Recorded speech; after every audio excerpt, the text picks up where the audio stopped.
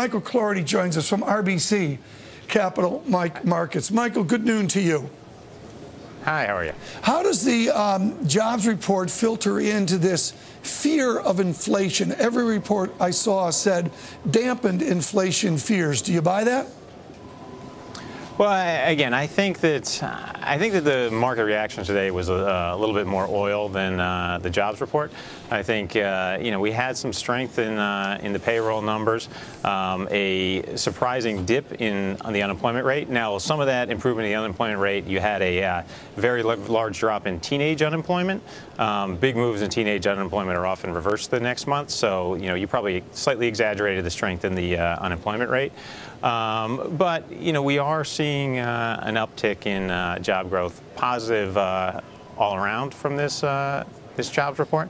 Uh, I think, though, the, the market reaction, uh, it's been a little bit more fear that higher oil prices will slow the economy in the future. And, and well, Victor, come on Sorry. over here if you would, Victor. Let's look at this. This is oil, folks. Intraday, one, two, three, four days from Tuesday, and up, up we go. And there's the print right there at 104, and we've come back. Michael Cloherty, let's do dreaded first chart and bring all this in. This idea, folks, of the linkage of economics into the bond market, and for that matter, into commodities. We showed this chart. I got a lot of mail on this, even on Facebook. A half century of yield. This is the H15 series, Michael Cloherty, the 10-year yield, and up we go to the Paul Volcker 1979 moment, and then we roll over Michael Cloherty, is the great moderation still intact? Well, I, I mean, I do think that the the long downward trend in inflation we've had since the 80s is is clearly over.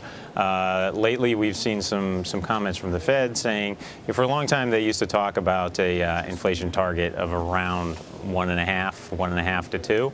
Um, that's still the official line, but now you know you more often hear a little bit higher than that. You know, two to to a little bit over two. Because right. in the past decade, twice we've had problems with deflation concerns rather than inflation concerns. So given that uh, that repeated deflationary worry, a little bit more bias towards uh, mm-hmm. modestly higher inflation from the Fed. I think uh, that means you know the the long secular right. trend lower. Well, Michael Cloherty, hold on a minute here. Let's bring in Steve Wieting's folks from Citigroup. He took the surveillance helicopter up here uh, today from Citigroup headquarters, and uh, I guess there's a little trouble coming down on top of the building. Good to have Indeed. you here with Michael Cloherty of RBC Capital uh, Markets. Bring up the chart here uh, that you just brought up, Rex. This, we got a whole bunch of job charts, folks. Some really interesting stuff. Just as a rule of thumb, we're in search of 8 million jobs. Here's non-farm payrolls.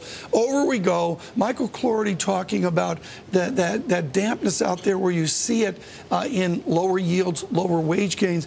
When are we going to make back those 8 million jobs? Um, several years, and uh, maybe uh, a few more than what we call several. Uh, it's going to take some time, but I think what's most interesting about that chart is that real output in the United States is at the same level it was at the peak of 07, in fact, exceeding it a little bit with seven and a half million fewer people working. And uh, the total level of consumption expenditures in the United States, either real or nominal, uh, is also at an all time high with that many fewer people working. As you incrementally, however slow it is, uh, get it's these people positive. back to work, you'll add even more to U.S. output and consumption. And Michael Cloherty, does that fold into the optimism on U.S. full faith and credit paper? The foreigners keep buying it because they see those efficiencies, those productivity gains that we have?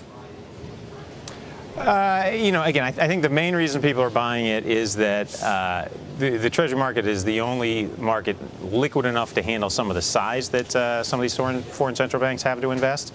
Um, they did start to move uh, some of the reserves into Europe over the past decade as all European bond markets started trading as one. But now the European bond markets are much more fragmented. You can have, uh, you know, Germany doing one thing and Spain doing another. Uh, now for the liquidity, you're sort of forced back uh, into treasuries. So I think that's the mm-hmm. main reason. From a long-term trend, though, you know, the the U.S. doesn't look as bad as, as some other places. Um, you know, our demographic issues are are not good, but a lot of other places are worse. Yeah, I like that angle, Michael. Let's stay with that, folks. This is the fact of the week from the laureate Michael Spence. See his wonderful note at Project Syndicate. Michael Cloherty and Steve Wieting, the laureate Spence, 95% of non-tradable jobs over the past two decades have come uh, in uh, the, the, the service sector. Here is the yellow line, folks, which is non-farm payroll growth of the service sector, and the white line is the collapse of the goods producing sector. Steven Wieting, um, do we have any hope of getting those goods jobs back, or is Spence correct that it's a service sector U.S.?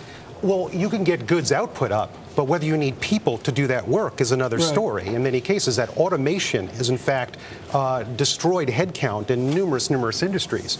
Um, we're doing a little bit better right has now. Has China destroyed headcount? Well, um, I think that they eventually will. I mean, you can't sort of hope that sort of farming, for example, will be labor intensive everywhere, even in sort of mm. the mm-hmm. most, the countries that have the most difficulty, uh, in fact, uh, in, in developing, that ultimately combines do the work.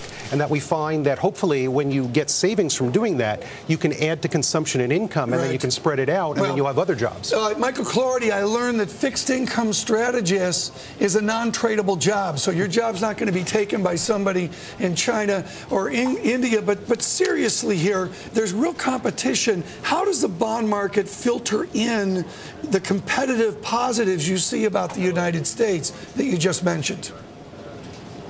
Yeah, again, I, I think that uh, right now it's not too focused on that. The, the the turn in a lot of that is, is further out. I think the the closer, uh, the, the, the, more relevant factor now is just the today's difference between emerging market growth and uh, developed country growth. Um, that has been the, the primary focus. And one of the issues is as some of these emerging markets try to avoid overheating, we've been seeing uh, tightening by a lot of central banks all over. Right. Is can they engineer a soft landing or is it a little bit bumpier? Uh, than they like, and then how much spillover do we get back to, to our markets from that? Earlier this morning on Bloomberg Surveillance, I spoke with Jim Glassman of JP Morgan. I asked him the importance of jobless claims. When that's moving down into the 300,000 range is telling you we're starting to see the beginning signs of the lights coming on. That trend in jobless claims is a very important signal to economists. Uh, to, to me, a huge deal, folks. Yesterday, going back to July of 2008, we get back. Here's a chart we showed yesterday. Michael Cloherty, what a signal. The four week moving average of jobless claims uh, breaching 400,000, a lower number, a better number. What does that signal to you, Michael? Uh, undoubtedly good, and, and, I think that uh, you probably would have had even a more pronounced move through 400,000 if we didn't have all the storms. You had uh, some some claims related to uh, all the snowstorms on the East Coast. Uh, uh, for the you know a month ago. Um, so I think uh, it's meaningful. There is definitely some improvement in the labor market. We do have a long way to go, as you pointed out before, a long way from that uh, December 2000 uh, December 2007 peak in right. employment. What should savers do now, Michael Cloherty? What, what, what, they're boxed in with low interest rates. They've got a government saving Wall Street. What do they do in their CDs, in their full faith and credit bonds? Do they buy munis? Are you all tax-free advantage bonds? No, I, I, think that uh, munis actually is a, uh, a, good place to go. There's there's some research needed behind it because you know some differences between uh, credit risks in different states. But I think as a general rule, some of the good have suffered with uh, some of the more questionable uh, in this sell-off here. Uh, Steven Wieting, we showed. Um, the jobless claims chart there and profits. I want to show a profits chart here in a bit, your area. But, you know, you look, Steve Wieting, there it is. Bring it up here right now. Forget about unit labor costs. How about unit corporate profits? Wow. Yes. Is it going to be another wow quarter? Um, Walmart, 21% dividend increase. Well, that's important in the sense that, you know, we've had, we're now getting more pass through with stimulus both to employment and there's room as well uh, to see share buybacks, M&A activity, dividend payments. So you think dividend payments will rise at a double digit rate, low double digit rate for the next two years. uh, to catch up with this. Are stocks going to compete with bonds? I mean, Bill Gross says bonds are a little shaky here. Michael Cloherty, I've never heard M- municipal Michael M U N I C P A L. I've never heard Michael Cloherty mention municipal bonds in my life. Is, is the competition there where stocks win? Well, this is the time, and we don't think that the window lasts forever, but within the capital structure, where you've had so much improvement in credit already, uh, and you're getting shareholder friendly activity right now, where uh, costs for firms in the debt market have, have fallen really dramatically, um, just continuing to be on this track on earnings, I think suggests positives for equities in the current year. Bring up this profit chart again, Rex. Bring up chart six here. Come on, Rex. I know you got your head in the weekend already. Bring up chart six. Michael Cloherty. The profit chart we're looking here looks like we're back to Dow 14,000, not 12,113. Up, up we go. What are you observing in corporations? Are they taking out more debt? Are they extending maturities? What are corporations doing when they see these profits when they look at bond markets? Um, I mean, I think we have seen a little bit of a, a weakening of the linkage between uh, corporate bond spreads and the equity market. Uh, through the whole crisis, those moved in lockstep, where uh, you know you'd have equity trade down, corporate bond spread widen. Um, now I think a little bit of weakening, and it's exactly as Steven was pointing out that there's a little bit greater concern that uh, steps will be taken that are stockholder friendly and bondholder negative.